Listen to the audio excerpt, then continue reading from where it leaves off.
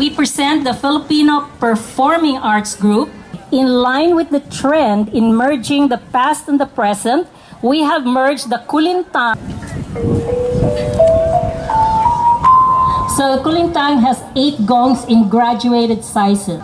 And with this time, we have a modern percussion background music. So the entrance dance shows our dancers emerge from the audience, as you can see.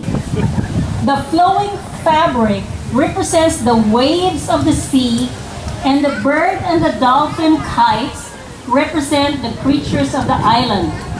The music is called Sinulog a Kamamatuan,